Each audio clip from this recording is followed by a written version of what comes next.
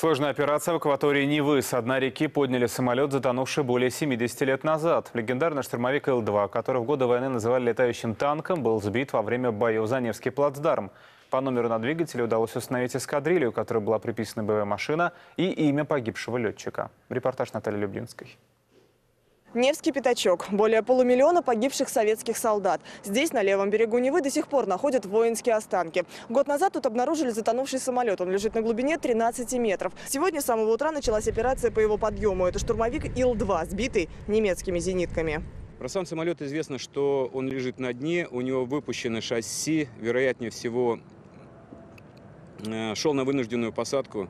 Позади 8 часов подводных работ. Водолазам мешают течение и плохая видимость. За это время достали винт, двигатели, фрагменты фюзеляжа. Как говорят поисковики, здесь уже успели поработать охотники за военными артефактами. Пропала часть личных вещей пилота и детали воздушного судна. Часть личных вещей, э, оружия бортового уже утрачена. Значит, часть, как доложили сегодня водолазы, э, уже снята и подготовлена к выносу. Была, лежала рядом с самолетом. Привлекли определенные силы и средства, которые необходимы для того, чтобы полностью извлечь остатки машины на берег, провести полный полную изгумацию и обследование борта. Не дожидаясь высадки на берег, прямо на воде специалисты начали обследование. В первую очередь искали номер двигателя, ведь по нему можно установить и номер борта, и имя пилота. А вот номер на двигателе.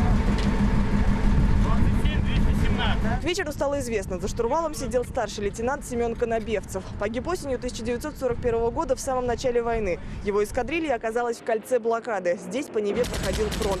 Видимо, пилот получил боевое задание – атаковать позиции немецких солдат. Могу сразу сказать, э, это была мучительная смерть. Э, Самолет горел, и хорошо горел.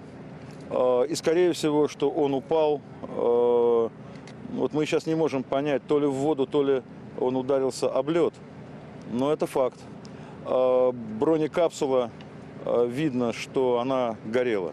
И хорошее пламя было. По оценкам специалистов, самолет после 70 лет нахождения под водой все еще подлежит реставрации. Летать он, конечно, не будет, но из него сделают музейный экспонат. Эти работы займут около года. Отдать его планируют в музей битвы за Ленинград. Ведь атаковал он немецкие позиции, чтобы пробиться к Волховскому фронту и разорвать кольцо блокады.